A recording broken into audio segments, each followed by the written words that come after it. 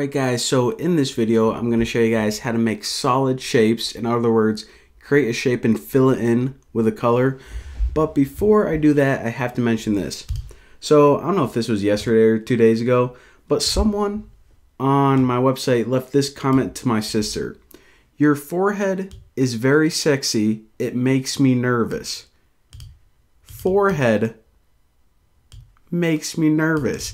See, I didn't know that anyone's forehead could uh make anyone nervous, but uh I have no idea. I don't know if like he doesn't speak English very well, but uh yeah. Your forehead makes me nervous. Okay there. So, let's uh get back on track here.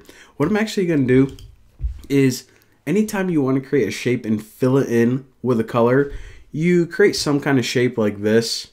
So I'm just going to copy my ugly shape and I already pasted this to the form, so I'm going to delete everything in here except the context. Because remember, anytime you're drawing, you always need the context.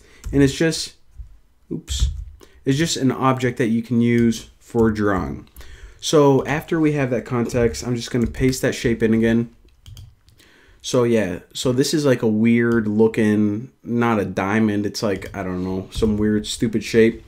So that's where the context is basically a weird looking path that's enclosed. So now let me go ahead and show you guys how to fill in this path. And might like to fill in a path. First create a path that you can fill in. Simple enough. Now if you call the method CG set fill color with color, then the first thing is, okay, what are you trying to fill in? Well what's that context? And what color do you want to use? So I'm just going to use UI color dot, what do we use before? Red, or we use purple. Let's use it red for this one. So we're going to fill it in with red. And of course, just to make sure it's a color object that doesn't give us any errors, we need to end with CG color. Now the last thing is, remember before, whenever we created a stroke path, well, what we want to do here is we want to create CG context fill path. So there's different types of paths that you can make.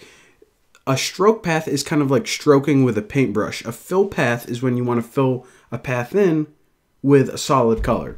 So what are you trying to fill in? Context, and this essentially just prints it out on the screen or make sure that it appears in your simulator or iPhone, whatever.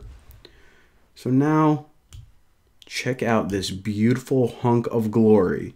So again, it's the same exact shape, but instead of having a stroke, we now have a solid shape.